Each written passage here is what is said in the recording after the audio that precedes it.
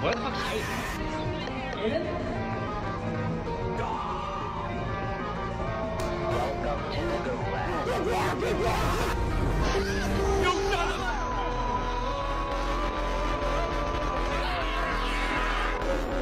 I'm a bit scared. Oh.